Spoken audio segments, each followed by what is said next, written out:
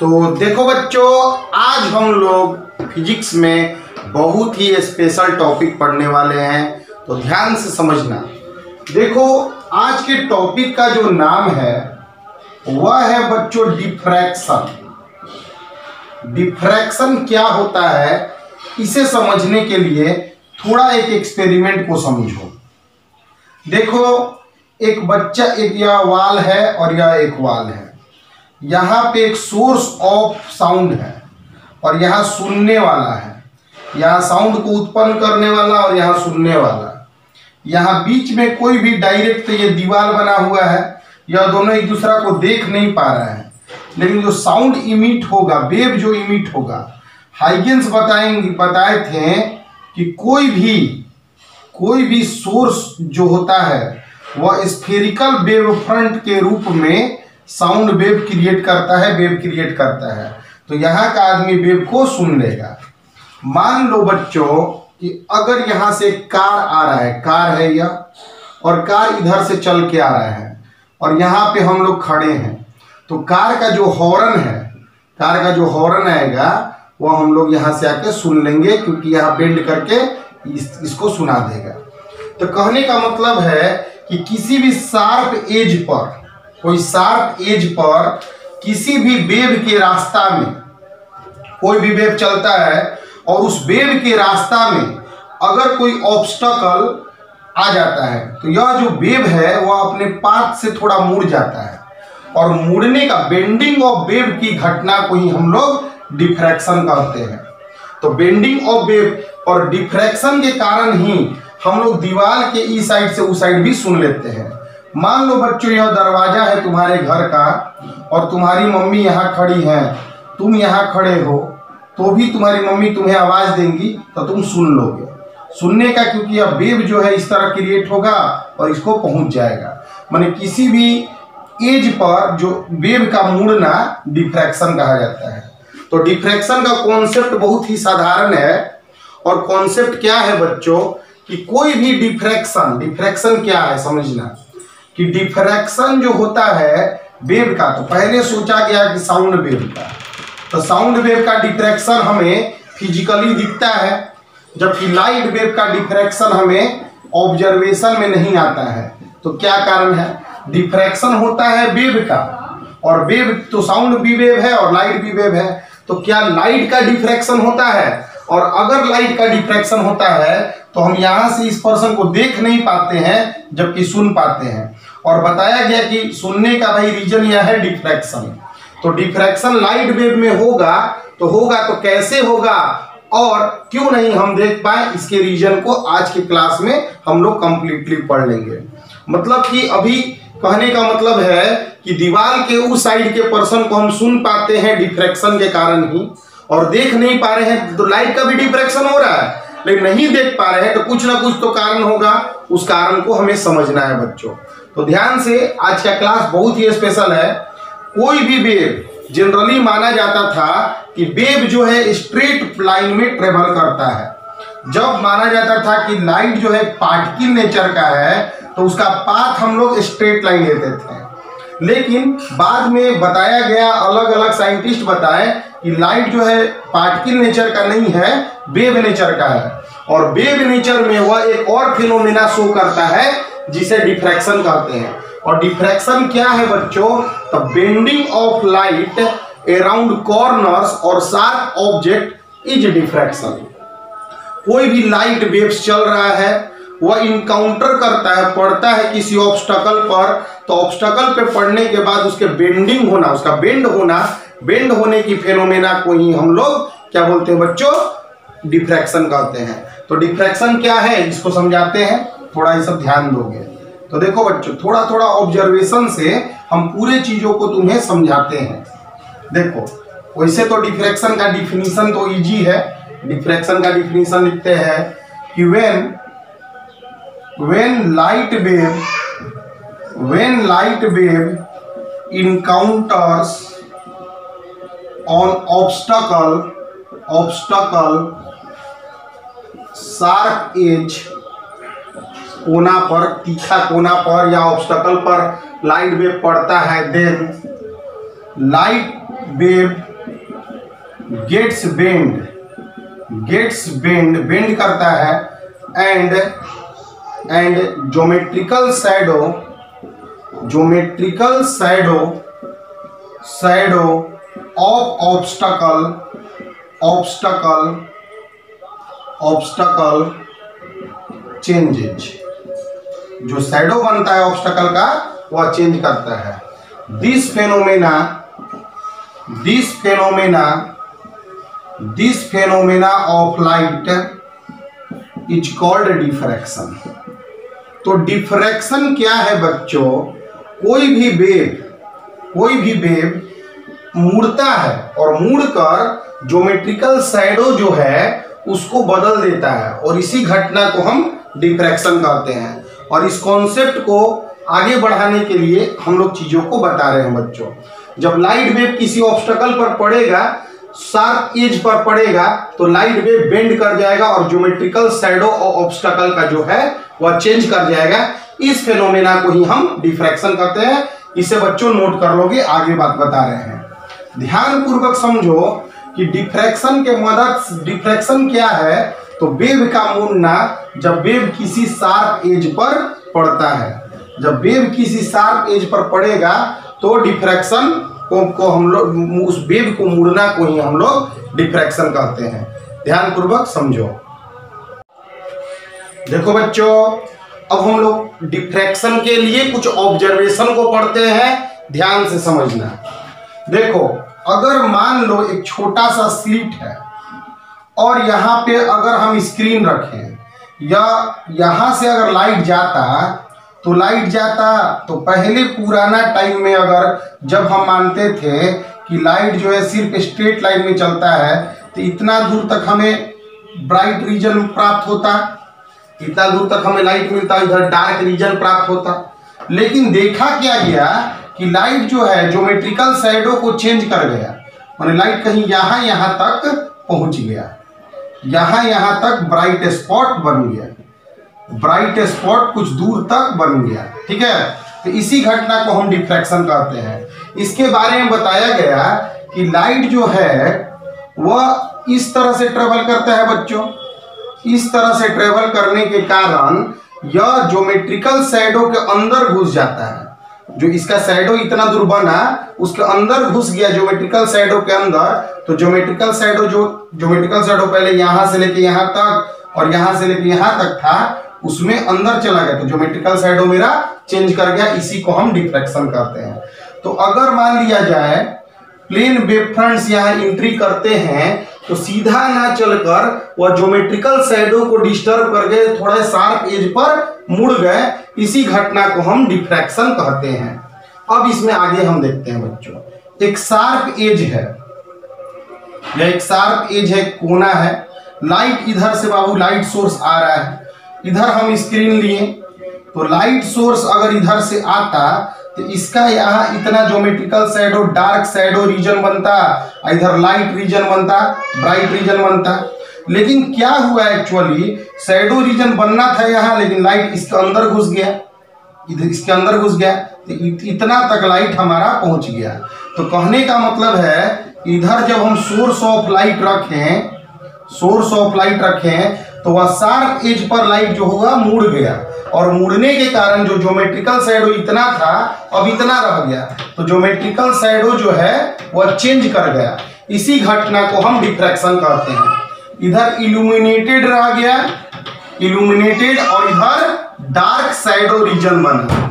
Dark shadow region और dark side region जो पहले बनना चाहिए था इतना, वह न बन के इतना बना, यानी कि डार्क साइड ओरिजन चेंज कर गया डिफ्रैक्शन के कारण। और डार्क साइड रीजन और इल्यूमिनेटेड रीजन के बीच में, डार्क सैडो रीजन और इल्यूमिनेटेड रीजन के बीच में कोई शार्प गैप नहीं हुआ, वहाँ पर bright dark bright dark bright dark bright dark इस तरह बनने लगे, इसे हम डिफ्रैक्शन पैटर्न कहें।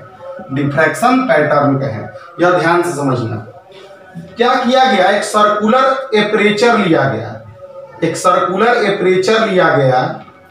सर्कुलर एपरेचर से इधर से लाइट एंट्री कराया गया। और यहाँ जो स्क्रीन था, उस पर इस एपरेचर का देखा गया। तो एपरेचर छोटा सा था तो उस छोटा एपरेचर का यहाँ पे छोटा सा लाइट बनना चाहिए था। अगर लाइट रे चलता रे ऑप्टिक्स होता तो लाइट सीधा लाइन में चलता है। लेकिन यहाँ से जब लाइट आया तो लाइट तो वेव है। तो जो ज्योमेट्रिकल साइडो रहेगा, उसको चेंज करके थोड़ा यहाँ बड़ा गोला बना दिया। और बड़ा गोला बनाकर, इसके बाद जो है, इधर इधर जो है डार्क साइड रीजन बदल गया।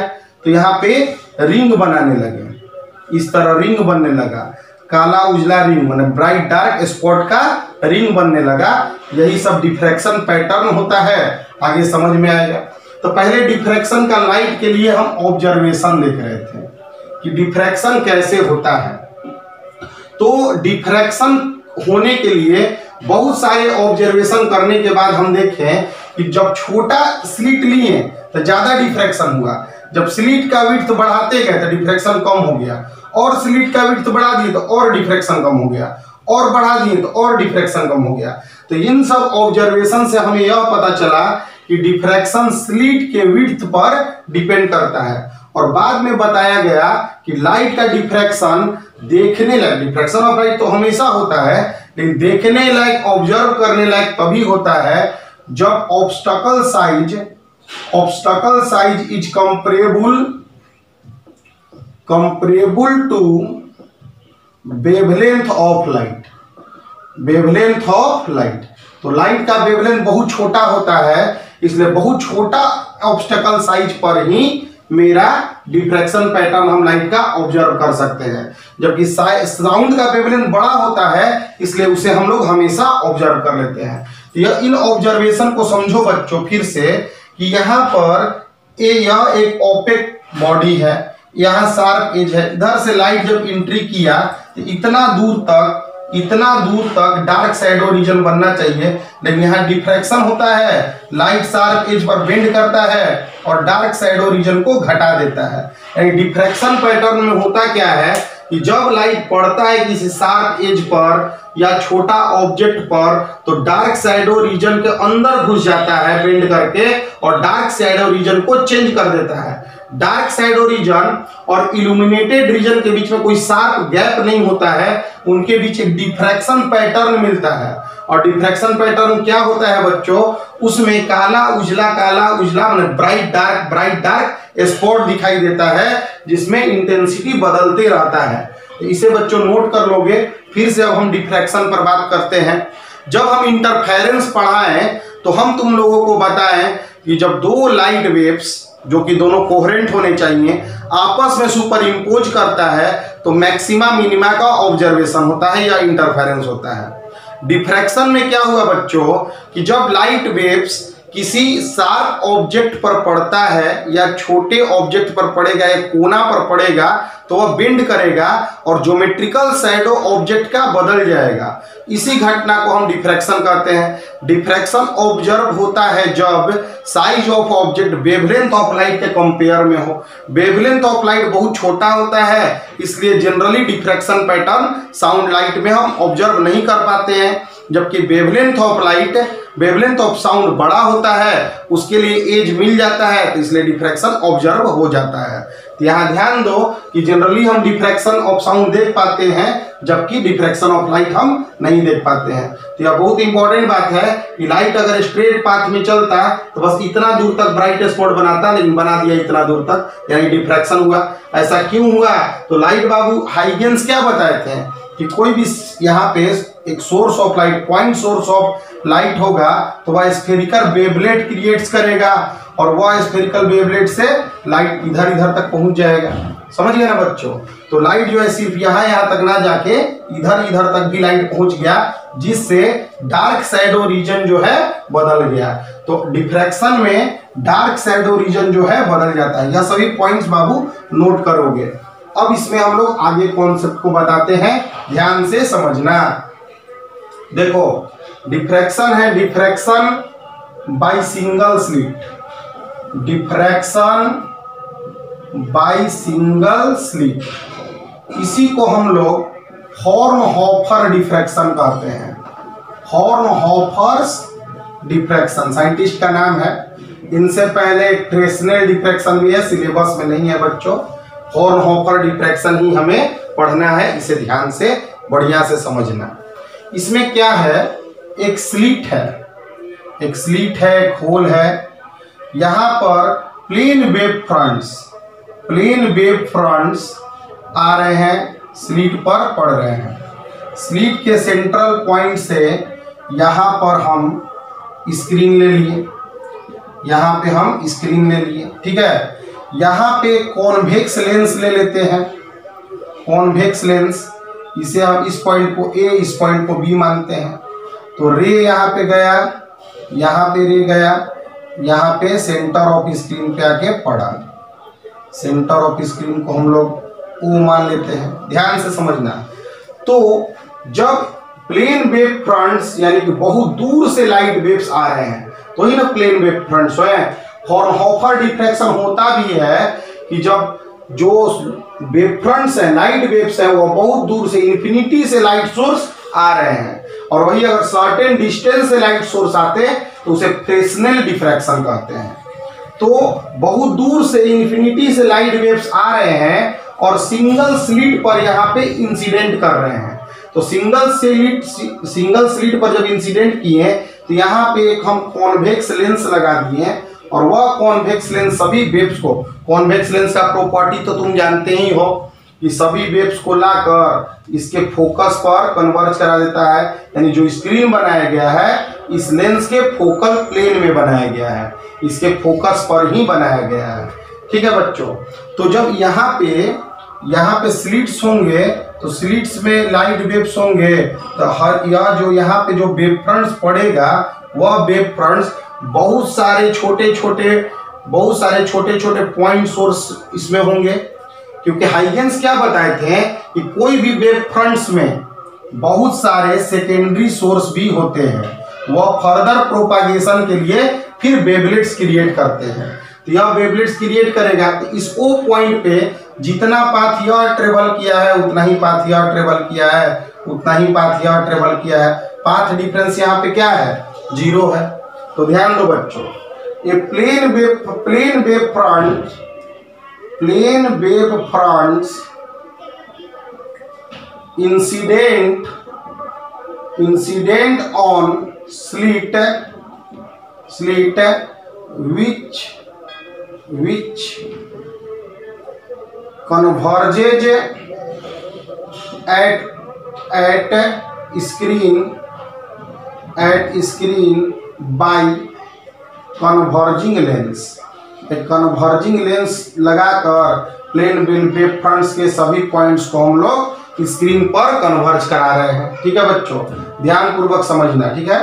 At centre of screen centre of screen screen screen centre of screen पर यहाँ पर path difference path difference by each path difference by each wave fronts each wavelets created by created by particles of wave front wave front is zero. Hence, central maxima central maxima is obtained at center of screen. Center of screen. देखो, बात समझो बाबू। Plane wave fronts आकर पड़ते हैं। Plane wave fronts आकर incident करते हैं single slit पर। उस सिंगल स्लिट पर जब लाइट सोर्स एंट्री करता है लाइट एंट्री करता है तो उस वेवफ्रंट्स में बहुत सारे बहुत सारे पार्टिकल्स होते हैं जो सेकेंडरी सोर्स का व्यवहार करते हैं और सभी फर्दर प्रोपागेट करते हैं। फर्दर प्रोपागेशन के लिए हर एक का पाथ डिफरेंस यहाँ के लिए ज़ीरो होता है। और पाथ डिफरेंस ज़ीरो होगा तो वहाँ मैक्सिमा मिलेगा, इसलिए स्क्रीन के सेंटर पर हमें मैक्सिमा प्राप्त होता है। तो बहुत ही इंपॉर्टेंट कॉन्सेप्ट है बच्चों। एक एक सिंगल स्लिट था, यहाँ पे प्लेन वेव फ्रंट्स आके सिंगल स्लिट पर पढ़ते हैं। एक कन्वेक्स लेंस लगा के उन सभी का, सभी रेज को, तुम पढ़े होगे कि प्लेन वेव फ्रंट्स के आगे अगर कॉन्वेक्स लेंस लगाते हो तो सभी जाकर फोकस पर कन्वर्ज करते हैं। तो सभी जाकर फोकस पे कन्वर्ज कर गए, जो कि फोकस पे ही फोकल प्लेन पे ही स्क्रीन था तो स्क्रीन पर सेंट्रल मैक्सिमा बना। अब मैक्सिमा या मिनिमा क्यों बनता है, इसके लिए कहानी यह है बाबू, कि बहुत सारे वेव्स बहुत सारे वेव्स सुपर इम्पोज करते हैं तो मैक्सिमा या मिनिमा बनाते हैं। मैक्सिमा बनने का कंडीशन होता है कि जब पाँच डिफरेंस ज़ीरो होगा तो मैक्सिमा बनेगा। तो यहाँ पे बहुत सारे वेव्स आकर सुपर इम्पोज करके ओ पॉइंट पर ओ पर ओ मतलब सेंटर ऑफ़ स्क्रीन पर मैक्सिमा का निर्माण कराते हैं। यहाँ पे एक बहुत इंपॉर्टेंट कॉन्सेप्ट है बच्चों, इसे लिखते जाना है कि अगर इंटरफेरेंस में दो लाइट वेव्स आपर में आपस में सुपर इम्पोज करके मैक्सिमा मिनिमा का निर्माण करते हैं। और डिफ्रैक्शन में infinite source infinite light waves आपस में मिलकर मैक्सिमा मिनिमा का निर्माण कर रहे हैं। क्योंकि एक वेव फ्रंट्स में, एक वेव फ्रंट्स में बहुत सारे वेव्स हैं, बहुत सारे सेकेंडरी वेव्स हैं, और इससे वेव निकल रहा है, इससे वेव निकल रहा है, सबसे वेव निकल कर जाकर मिलकर पाँच डिफरेंस यहाँ ज़ीरो दे रहा है। और पाँच डिफरेंस ज़ीरो देगा तो यहाँ पर क्या बन जाएगा बच्चों? मैक्सिमा अब आगे, इसी में आगे बात को समझना। देखो, फिर से एक सिंगल स्लिट एस है। ठीक है? सिंगल स्लिट यहाँ सेंटर ऑफ़ स्क्रीन पर मेरा मैक्सिमा का निर्माण हो गया बच्चों। इधर प्लेन वेव फ्रंट्स आ रहे हैं। डिफ्रैक्शन होने के लिए जो स्लिट विड्थ है, वह वेवलेंथ के कंपेयर में होना चाहिए। ऐसा देखा गया कि जैसे जैसे विथ ऑफ़ स्लिट बढ़ाते गए डिफ्रैक्शन कम होते गया, और ऐसा देखा गया कि डिफ्रैक्शन लाइट का तभी होता है, किसी वेव का डिफ्रैक्शन तभी ऑब्ज़र्व किया जा सकता है जब ऑब्स्टकल साइज़ या विड्थ ऑफ़ स्लिट जो है, वह वेवलेंथ के कंपेयर में है। यानी डिफ्रैक्शन दो चीज़ों पर डिपेंड किया। एक तो size of obstacle size of aperture और दूसरा वेवलेंथ ऑफ़ लाइट ठीक है? तो यहाँ पे ध्यान दो बच्चों कि यहाँ पे अगर लाइट कुछ यहाँ से, यहाँ पे एक पॉइंट हम लोग लेते हैं ओ ओ डैश पर लाइट पहुँचा है। लाइट वेव्स तो लाइट वेव्स जो है यहाँ जो पॉइंट्स होंगे उससे तो बहुत सारा यहाँ पॉइंट्स होंगे तो, तो स्पेरिकल वेव फ्रंट्स क्रिएट करेंगे। तो लाइट ऐसे ऐसे ऐसे सभी जगह जाएगा। तो यहाँ से लाइट इस पॉइंट ओडेस पर भी पहुँचेंगे। तो ओडेस पे लाइट पहुँचाने के लिए ध्यान पूर्वक चीज़ों को समझना है बच्चों। ओडेस पे लाइट पहुँचाने के लिए ओडेस पे लाइट पहुँचाने के लिए फिर से फोकल प्लेन में ही होगा यह। ओडेस पे लाइट पहुँचा दो। ठीक है? ओडेस पे लाइट पहुँच गया। तो ओडेस पे लाइट पहुँचा तो क्या होगा? इसे हम लोग मान लेते हैं ए, इसे बी और इसे सी। ओ पे तो हम जान गए हैं कि हमें मैक्सिमा मिला। अब हम मिनिमा का पोजीशन खोज रहे हैं कि मिनिमा हमें प्राप्त कहाँ होगा। तो ध्यान दो बच्चों, थीटा यहाँ से एंगल मान लीजिए थीटा। कि थीटा एंगल पे पहुँच गया है। देखो ध्यान से। यहाँ से परपेंडिकुलर डाल दिए। तो इसके बाद तुम देखो, इसके बाद तो पाँच डिफरेंस लगभग सेम है। क्योंकि यह जो डिस्टेंस होता है ना, वह बहुत बहुत बड़ा होता है। ए यहाँ पे स्लीट विड्थ ले लिए। स्लीट विड्थ लिमडा मान लिया गया वेवलेंथ लाइट का। वेवलेंथ ऑफ़ लाइट हम ले लिए। तो देखो लाइट वेव्स जो प्लेन वेव फ्रंट स्लीट पर पड़ेंगे तो वह स्लीट पर केवल ऐसे यहाँ तक ना जाके दूर तक जाएँगे। ऐसे ना जाके दूर तक जाएँगे ज्योमेट्रिकल साइडों को चेंज करेंगे। तो किसी ओडेस पॉइंट पे पहुँच जाएँगे।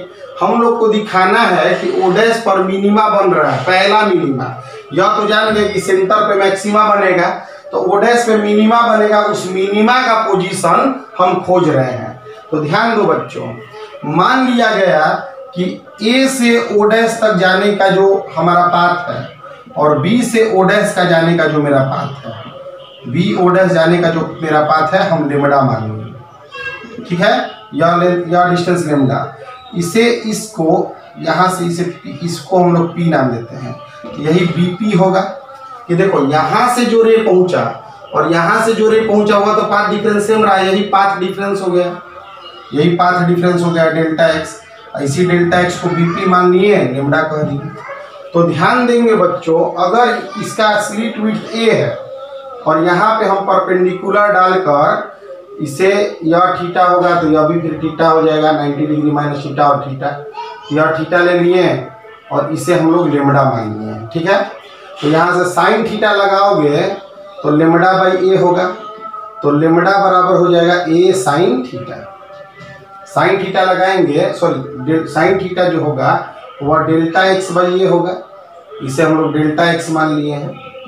तो डेल्टा एक्स जो होगा, डेल्टा एक्स जो होगा, वह ए साइन थीटा हो गया। ठीक है?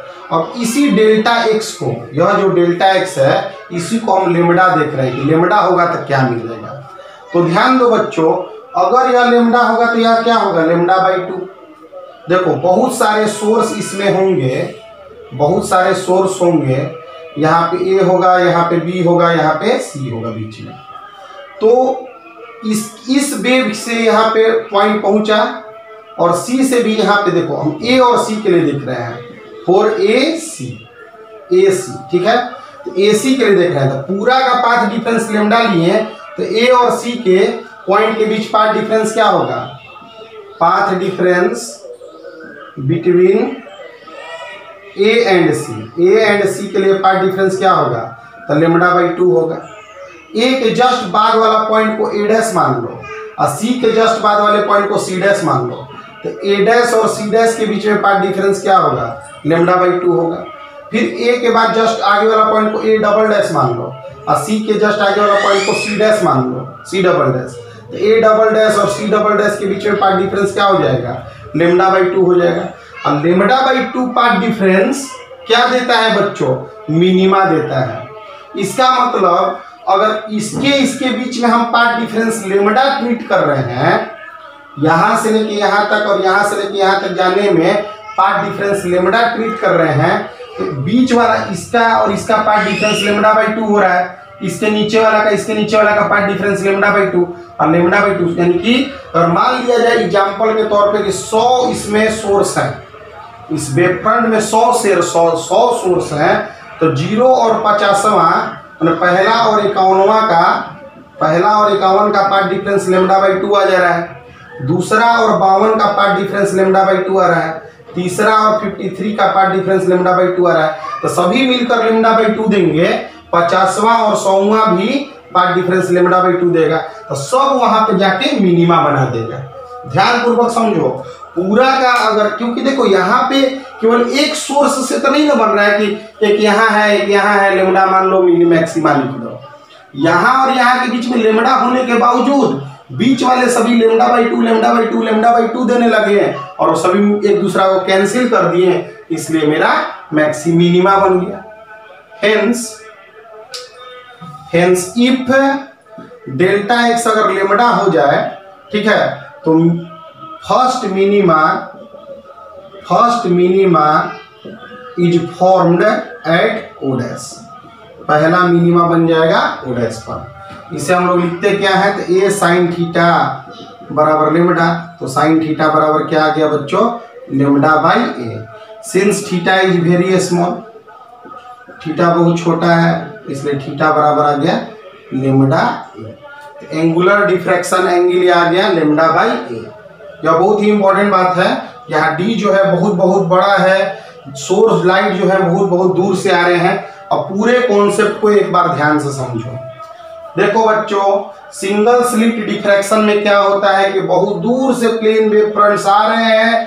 जब सेंटर ऑफ़ स्क्रीन पर देखें तो एक प्लेन वेव फ्रंट्स में बहुत सारे सोर्स हैं, बहुत सारे सोर्स हैं, बहुत सारे वेव क्रिएटर्स हैं। और सेंटर ऑफ़ स्क्रीन पे सबका पाथ डिफरेंस ज़ीरो हो जा रहा है। इसके चलते और इसके चलते, मिलके ज़ीरो हो जा रहा है। इसके चलते और इसके चलते ज़ीरो हो जा रहा है। इसके चलते इसके चलते ज़ीरो हो जा रहा है। तो सबके चलते पाँच डिफरेंस जाकर ज़ीरो हो जा रहा है। अगर हम पाँच डिफरेंस लेमडा पे ट्रीट करें, कि डिफरेंस लेमडा ले लेते हैं तो लेमडा लेकर देखें तो ऐसा पाए हम लोग कि लेमडा लेके देखने के बाद बीच वाला बीच वाला के बीच में lambda by two, lambda by two आके वहाँ मिनिमा बना देगा। तो लेमडा बाई ए पर मेरा मिनिमा बनेगा। तो यहाँ पे बहुत ही हाई फाई कॉन्सेप्ट हम सीखे जो कि मेरा इंटरफेरेंस उल्टा आ गया। इसे बच्चों नोट कर लोगे, ठीक है? इसे नोट कर लोगे, ध्यान से समझना। देखो तो यहाँ पे हम लोग समझे कि डिफ्रैक्शन पैटर्न में सिंगल स्लिट डिफ्रैक्शन में सिंगल स्लिट डिफ्रैक्शन में, सिंगल स्लिट के चलते जब डिफ्रैक्शन होता है, डिफ्रैक्शन है क्या बाबू? तो जब लाइट किसी एज पर पड़ता है तो थोड़ा मुड़ जाता है और ज्योमेट्रिकल साइडो बदल देता है। और ज्योमेट्रिकल साइडो बदलता है तो एक जगह मान लो इतना दूर तक साइडो बना और इधर इधर इल्यूमिनेटेड रहा इल्यूमिनेटेड रहा, लाइट यहाँ पहुँच गया। तो इनके बीच जो गैप होता है, उसके दौरान डिफ्रैक्शन पैटर्न बनता है।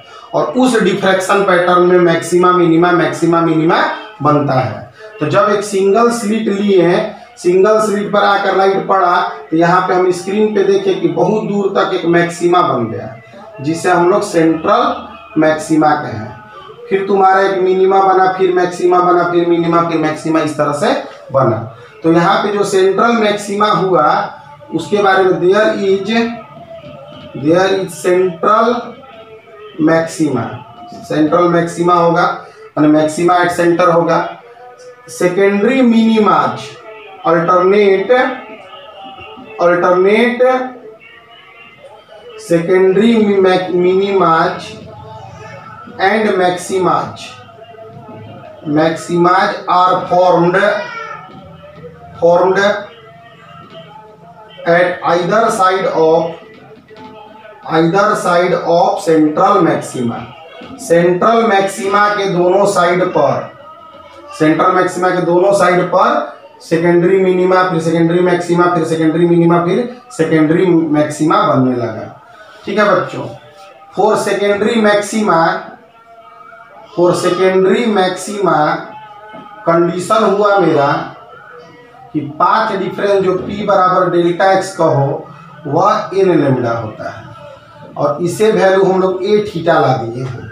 ए थीटा कैसे लाए हैं?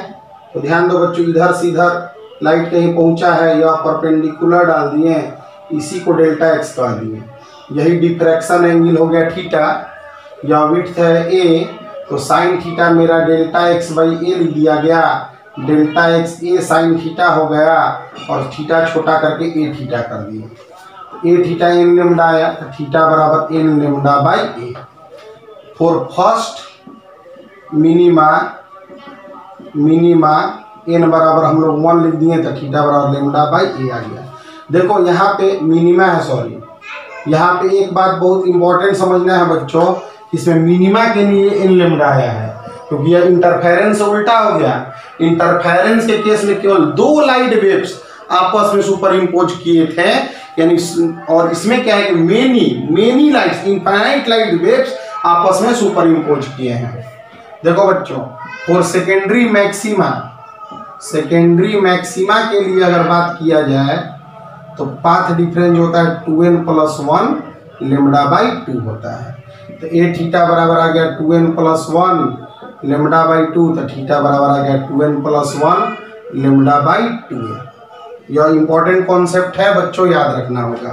तो एक ब्रीफ देते हैं कि अगर लाइट वेव्स अगर लाइट वेव्स जो है, किसी किसी भी ऑब्स्टकल पर या शार्प एज पर पड़ते हैं तो उस समय वह बेंड करते हैं और ऑब्स्टकल या एज के ज्योमेट्रिकल साइडों को बदल देते हैं। और उसी घटना को हम डिफ्रैक्शन कहते हैं। तो डिफ्रैक्शन क्या है बच्चों की? यह एक ऑब्जेक्ट है या ओपेक ऑब्जेक्ट है लाइट सोर्स इधर से इधर आ रहा है, इधर से इधर आ रहा है तो यहाँ से सोर्स ऑफ़ लाइट है। यहाँ पे अगर रे ऑप्टिक्स वैलिड होता तो यह तुम्हारा ज्योमेट्रिकल सैडो बनता। ज्योमेट्रिकल सैडो इसका ज्योमेट्रिकल सैडो यह बनता। लेकिन डिफ्रैक्शन होता है डिफ्रैक्शन होकर यह लाइट थोड़ा मुड़ जाता है। लाइट मुड़ के सैडो रीजन में सैडो के क्षेत्र में लाइट घुस जाता है। और यह बन जाएगा shadow by diffraction shadow by diffraction ध्यान पूर्वक समझना तो ज्योमेट्रिकल सैडो कम हो जाता है। तो इसके केस के लिए ऑब्जेक्ट का जो साइज़ है, वह साइज़ जो है ऑब्जेक्ट का, वह कंपरेबल होगा वेवलेंथ ऑफ़ लाइट के लिए। डिफ्रैक्शन लाइट वेव और साउंड वेव दोनों के लिए होता है। इसलिए हम लोग बोल सकते हैं कि जब डिफ्रैक्शन साउंड वेव का इसलिए ज़्यादा होता है क्योंकि उसका वेवलेंथ ज़्यादा होता है और लाइट वेव का डिफ्रैक्शन इसलिए हम ऑब्ज़र्व नहीं कर पाते हैं क्योंकि उसका वेवलेंथ इतना छोटा है कि उतना छोटा एज हम लोग को, उतना छोटा साइज़ का ऑब्जेक्ट हमें नहीं मिल पाता है। क्लियर है बात बाबू? अब हम लोग आगे कॉन्सेप्ट को समझेंगे। ध्यान से समझो। ठीक है? ध्यान दो